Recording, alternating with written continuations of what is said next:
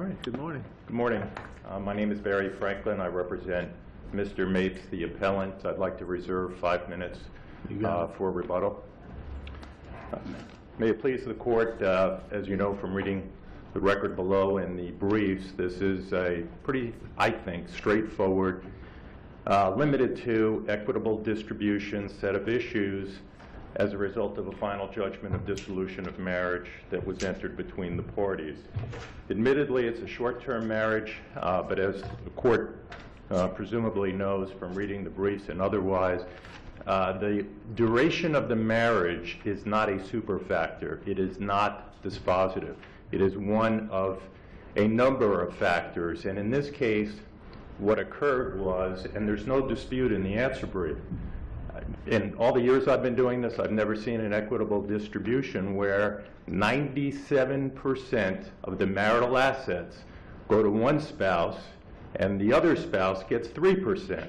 I don't care if it's a two-year marriage or a 20-year marriage. That is absolutely, as a matter of law, based upon all of the cases. And frankly, there are a number of cases that are cited in the answer brief where unequal distributions were reversed. I think it's important to, and I don't like reading when I do oral arguments, but this quote I think is most telling from the Rodriguez case from the third district. I believe the law in the second district, as well as all of the districts, is consistent and directly on point. The third said, and this is when uh, they were identifying, when is it appropriate to have an unequal equitable distribution? And again, most of the cases, if it's permitted, if you have the justification, the findings, going over all the statutory factors, 60-40, maybe worst case scenario, uh, one side gets shortchanged with 30% as opposed to 50%. This is what the third said. The unequal distribution of marital assets or debts is allowed when one party's conduct has caused the dissipation of assets or has otherwise adversely affected the financial status of the other party at a time, and this is important here, at a time when the marriage is undergoing an irreconcilable breakdown. Okay, in both the assets that are at issue here, there are two assets, and I think what makes it easier for appellate review, both these assets were in joint names. There is nothing in this record that militates against the voluntariness and the actual agreement. In fact, the other side says in their answer brief, it's harmless error. It's not harmless error, it's quite the opposite. Uh, What the court did was sort of the snowball going down the hill with one problem after another after another. The apparent one singular, well, two, I should say, two reasons to justify 97% in favor of one party, and again, not controverted in the answer brief, and 3% in favor of uh, my client, the husband in this case, duration of the marriage, and both those assets were acquired in joint names, not when the marriage was in the process of an irreconcilable breakdown. It was months before they even separated, let alone Well, a ask- petition let for dissolution of marriage being filed. Let me ask you this, Mr. Franklin. Sure. As I read the final judgment, you get this picture of the wife being in good shape financially. She had her home on Treasure Island, she had her duplex, um, she was doing well, she could, she could survive. Um, The husband comes into the picture, and then, and he has, he brings minimal assets. Uh, He quits, apparently quits working, and then this very, very convoluted series of transfers of money, um, purchases of, of different dwellings occurs. Uh, And when you get to the end of it, uh, and it's a relatively short, I mean, you go up to Beverly Hills, uh, you go to Lee County. Uh, When you get to the end of it, fifty percent of what the wife had is gone. She's no longer in good shape. Uh, And all this seems to be orchestrated and, and done by the husband. Uh, Why, why aren't those facts, as outlined in the final judgment, a sufficient basis for the trial judge to do what he did here? That's, I think, I was going to, issue. when I said the two justifications, in quotes, duration of the marriage, the other one was, to uh, pick up on, on that comment and that question to me, to try to restore these two people back to where they were at the time of their marriage. Now, I challenge anyone to look in the uh, specific statutory factors and tell me if it exists there. It doesn't. And the reason why it doesn't exist there, just think about that for a moment. And I think there's a, a gender, um, I don't want to use the word biasness, but if this, if the roles were reversed here, and you had the traditional, at least old-style relationship where the man made all of the money, she married somebody that she knew was not as economically well off as herself. These two people had been married for multiple, multiple times. They could have avoided their aggravation and the litigation that occurred by having a premarital agreement. They didn't do that. They should have, I'm sure, in retrospect. Certainly, my client uh, would have been better off if he had negotiated a fair agreement. But the answer to the question is, there is not, and there should not be, and this would set a dangerous precedent to say, okay, keeping in mind to answer the question further, there's no fraud here. The other side tries to paint it in a different picture and sitting in the back of the room listening to the other oral arguments. This isn't penetration. This isn't, you know, you can shape it any way you want, but it's not fraud. It's not dissipation. She, there is testimony in this record that she agreed to each and every one But there's, there's also findings in the judgment where the court said the husband pushed her into doing these things, she didn't understand everything. Next thing you know, there's, he- he- there's a loan on there. I mean, it, that's the equivalent of fraud. I mean, it's almost like what the judge did in this case. And I know you think it's probably, uh, unusual, if not inappropriate, was a de facto annulment to try and restore the parties, parties to the status quo to make up for this chicanery, for lack of a better term. I mean, the judge went out of his way. You got a long-time experienced trial judge that's seen a lot. Twenty-something year judge, if I remember his CV. So it wasn't a judge who did this lightly, but he's trying to work equity, and divorce is an equitable proceeding. So he's factoring all this in. It's kind of like what Judge Wallace is saying is, why could that, these things not legitimately be a factor? If you look at the bare naked title alone, then you're hundred percent right. But he was going behind that to try and do equity. And if you got it wrong, then you gotta tell me why he abused his discretion to do these things. And I've got a question. Was the trial court not permitted to take into consideration her mental health? well, I think It certainly. It seems throughout that he, he gives considerable weight to her mental status. I I think that's a factor. Um, You're not going to hear me say otherwise, and I didn't say otherwise in the brief. But I think, uh, i got to take one question at a time. The question about, um, you know, why is this not an abuse of discretion? First of all, it's a de novo standard if you're making clear legal errors. Where in the court, in the four corners of that final judgment is there the identity of marital assets versus non-marital assets? When you don't do that, and that's not harmless error here, that is per se reversible error. When you don't make, when Let you... just ask you on that issue, because let's say we accept that as legally correct. What's the remedy you seek? To send it back for further findings? I mean, you could get the same results, if not a worse result, or possibly a better result. I wanted to finish my, to if I can, respectfully, can I finish my answer to the other question?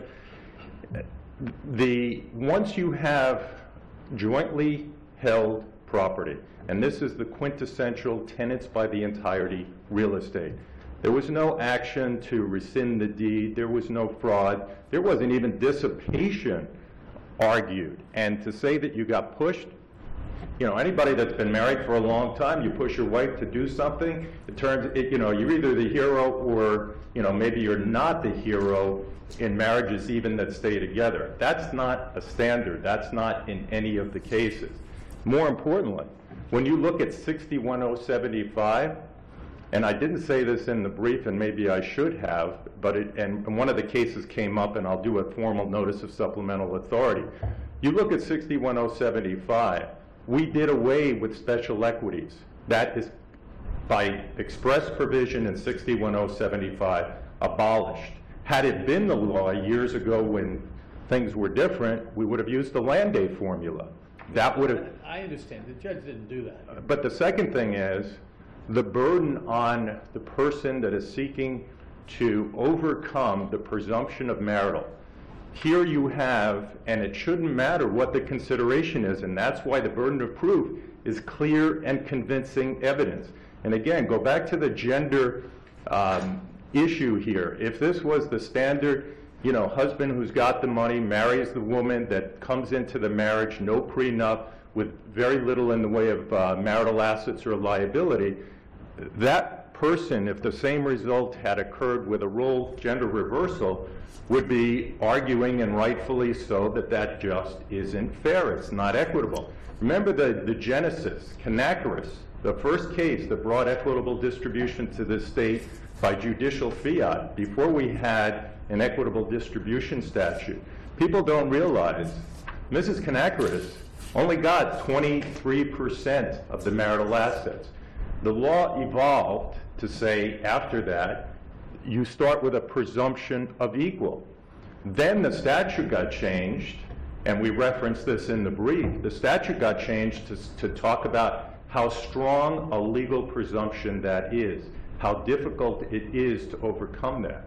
And to say here, you know, it looks like he was a little tricky or he's moving accounts here or there, he made contributions to each one of those properties. She could have chosen to handle the situation on a factually different basis.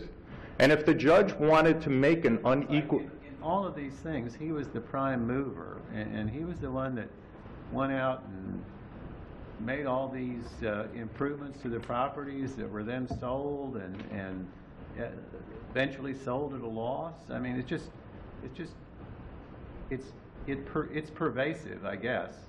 But so is it that way in a lot of marriages. If you have a dominant male figure in a, in a traditional leave it to beaver kind of family, the husband makes, uh, you know, we're laughing, but there are still families out there where the husband makes the decisions, the wife goes along with it. It's certainly not dissipation just because the real estate market changes. And again, I submit that, you know, part of this is the abuse of discretion standard, but most of it is clear legal error. If you go over, I mean, are you really saying this to leave it to be the family here? no, I'm saying, I'm saying that there are relationships, because there is evidence in the record that, and, and they pointed, pointed out in the answer brief, that she didn't want to confront him. She went along with it. You know, she didn't have to sign whatever that was, the homeowners association contract. She put her name on that, knowing full well that her husband's name was on it. So, and, and even if unequal equitable distribution could be justified here, is it justified to the point where she gets 97% of the assets? There's not a case out there where you have a similar set of facts without a showing of dissipation, because the judge didn't make any findings of dissipation. You know, I don't want to uh, forget the argument, the last argument, uh, which is, you know, the Berg Perlow and two cases from the second district, um, both Bishop and Walker, in a situation like this. As a matter of fact, uh, Judge Wallace, if you look at the last exchange in the record, I wasn't the trial attorney, but whoever was representing uh, the wife at that time at the trial court, because you have two different appellate lawyers in the case, there was some interesting discourse between the judge and the lawyer. And the discourse indicated, in reading it just from a cold transcript, the judge was, uh, it seemed to me respectfully, that you mean to tell me there's a case that says unequal? The judge even made the comment, unequal is not really what we're talking about here, uh, although he did get that, you know, small token uh, joint stock account. It mean, what you really mean is you have cases that say that he gets nothing and she gets everything.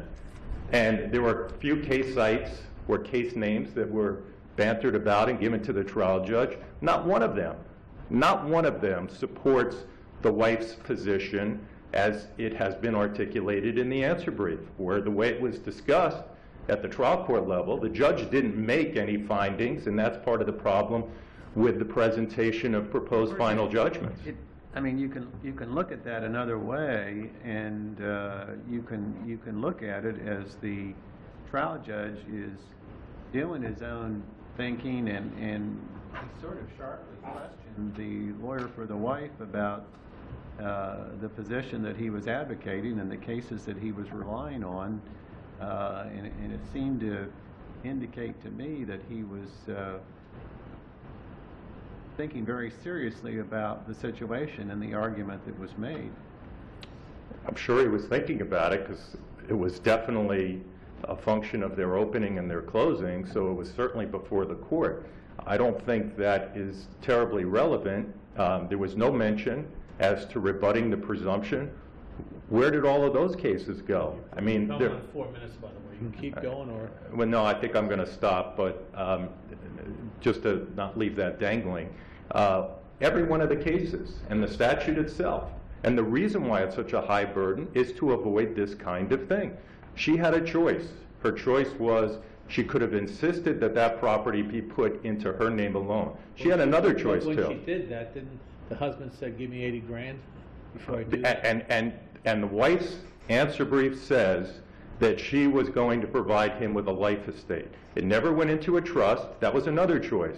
If that was, as the third district articulated in the Rodriguez case, if that was during the irreconcilable breakdown of their marital relationship, then she should have filed for divorce at that point in time but she didn't. And this is not a question of fact. I don't want to get hung up on abuse of discretion standard and all the things that I, I know or should know about, you know, the uh, final judgment comes to this court clothed with a presumption of correctness and not substituting, uh, you know, decision and avoiding speculation. There was a, a very clear high, as it should be, burden of proof. It wasn't even discussed in that final judgment. Wife's lawyer and for understandable reasons, but not legally sufficient reasons, wants to restore her client as best she can to the position she occupied at the beginning of the marriage. Are we going to do that when people lose money in the stock market? Or one decides to uh, invest in a piece of real estate and the next thing you know, the market goes south? It shouldn't be like that. There, there are compelling, oh, I don't think I answered the question of what should be done down below. I think you can handle it two ways. The cheaper way, which would be appropriate based upon a lot of the case law, is that it can be reversed with specific instructions to remand for an equal distribution based upon the law. She didn't prove anything by clear and convincing evidence. It wasn't even raised. So I don't think you necessarily get a do-over. And the reason why that is a fair result is because there's no dispute, factual dispute, on the values of the two jointly owned assets, the escrowed monies and the Fort Myers property. I'll save the rest for rebuttal. You're Thank you. down to a minute and a half. Well, So you- whatever I've got, I'll I got- I'll probably it have for to you. use it. I'll save it for you. Okay, thank you. All right. Good morning, Your Honors. My name is Colleen McAllister. I'm from Naples, Florida, and I represent the appellee here, Pat Mapes. Um, Pat Mapes contends that the trial judge did not abuse his discretion in finding that under the unique circumstances of this case, there was a justification for unequal distribution. We also contend that the final judgment entered by Judge Carlin was, What was was the exact justification that the court found? Well, I think there were a number of justifications, contrary Did to... the court actually find a justification, or we have to piece it together by reading judgment? I'm not going to sit here and say that the final judgment is perfect. Um, would that they were all perfect. But I'm going to say that the final judgment clearly put this court, and I can tell just from the questions that were asked, this court on notice of what its thinking was in how it distributed the property. And I think that's what the statute requires. The statute says that you have to put the parties and the reviewing court on notice of what you considered in making an unequal distribution. And I think the court clearly, the short-term marriage was disposed of in a sentence. And the notion that the, whole order was reliant on the short-term marriage is, is simply not true. Uh, a nine to 11-year marriage is in the gray area of short-term. This was short, short-term marriage. Um, I think that the judge focused on the enormous disparity of the contributions made by the parties. Specifically said, she came in with $864,000 in real estate properties, and he came in with $18,900. I might add that Mr. Uh, I might add that he, counsel said this is just the shape of marriage as well. Is that relevant when you commingle assets thereafter? Yes, it is, Your Honor. Whether, whether they are commingled or gifted, the court can still look at them and decide whether they should be equitably distributed. Distributed, sorry. Um, I think maybe the most important factor in this case was the issue of windfall to, to Roy Mapes. The court clearly stated, if I equally distribute this property, this is what happens. And this court has said in Roth v. Roth that providing uh, a windfall to one spouse versus the other is also an abuse of discretion. And you said in Fieger, no one should pass from misfortune to prosperity. Similarly, no one should pass from prosperity to misfortune. Do you want to comment on the gender argument? Yes, I do. I absolutely do want to comment. I would point this court to McMonagle versus McMonagle. McMonagle is maybe the case closest to this in terms of facts. In McMonagle, it was a short-term marriage, less than two years. The parties were both over 56 years of age. Here, the parties were both over 65 years of age. It was at least a second marriage for both of the parties. All the assets the parties had were required prior to the marriage, and neither made any substantial contributions to the, to the other's income or assets during the marriage. In that case, the husband came in with all the assets, and the husband put the wife's name on the home and a rather large CD. And the court, in its order, said, I'm sorry, but I have to find that he did this and he gifted these assets to the marriage. And so, therefore, under the statute, under 61075, I have to equally distribute. The appellate court said, first of all, the appellate court said, nothing compels, under Chapter 61075, nothing compels equitable distribution of assets, even if they're gifted. That it may be a starting point, but it doesn't have to be the ending point. The court specifically noted, court said, wife was far less generous in this case, having retained the sole interest in her premarital assets, except for this $13,000, $13,500 Scottrade account that Mr. Mapes purchased ostensibly because you know, he wanted to preserve some money um, which he admitted had a pass was password protected and, and, on his computer, and he was the only one that could get access to it. Um, except for that, he contributed nothing to the marriage other than paying his share of bills. Oh, and the $37,000 that he put in trees and shrubs and dirt for the house that he insisted they sell at a $43,900 loss because it was too cold for him. Um, what I'm, what I'm saying is that the court in McMonagle turned the tide and took these same facts, but with a man, and said, you don't have to equitably distribute. All you have to do is justify under the factors in the marriage. And it said, this case presents compelling circumstances for unequal distribution of the marital assets. And if you look through the case law, both this court's case law and the other district court case law, what you see is that unequal distribution really does require some, some kind of unique circumstances. I think the other thing the court focused on in, in its um, final judgment was the economic circumstances of the parties at this point in time. And while and, and, let me remind the court, there is absolutely no dispute that Pat Mapes' premarital assets purchased both of the assets that were at issue and, and subject to distribution. No dispute that it was her money that purchased both of them. Um, but what he specifically said in there was she came into the marriage with $4,300 a month in income. Her own testimony was she was comfortable. She was comfortable on $4,300 a month. Within five months of the marriage, her income had re- been reduced by $1,700, and within a year it had been reduced by another $500 down to $2,100 a month. And I think the court found that, you know, that is a permanent situation for her. So I think that was a factor, in addition to all the equities and fairness of the parties. And, and the judge, even in the trial transcript, um, trial counsel asked Mrs. Mapes, well, do you think it's fair that he should get something? And she said, no, I don't. It was my money. You know, even when he complained that I spent money, it was my money that I was spending.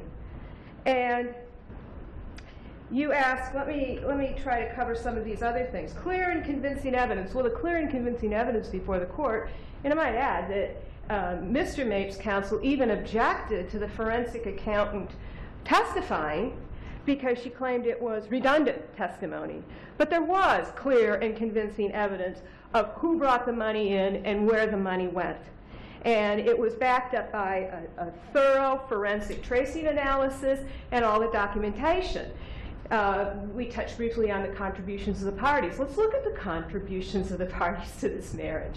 You know, not only did her properties disappear and her income disappear, but during the course of the marriage, she testified, and there was no rebuttal testimony, that she spent $188,000 on bills and, and, and, and her Visa cards, and she claimed they put all their food, all their travel, all their gas, et cetera, on the Visa bill. The best he could do, and, and I'm not even going to go into all the, the picking away at the totals on these bills, the best he could do is I contributed 84000 So even if we look at what these parties spent, once they were in the marriage, there's no comparison. And I don't think, you know, I, I don't think that the, I think that the 97.3 is only important insofar as, ironically, the distribution pretty much matches the proportionate distribution of the assets when they came into the marriage. There's not a whole lot of difference, except the fact that Pat has literally less than half of what she had when she came in, and she has an income of $2,100 a month from now on versus $4,300 a month. Um, mental health. Um, I would, you, you asked about the issue of mental health. I would again point to the record and say, Pat testified about literally, she said once they moved to Beverly Hills, if she got out of bed and took her shower, she was done for the day. Mr. Mapes testified that he couldn't even remember that. He couldn't even remember that.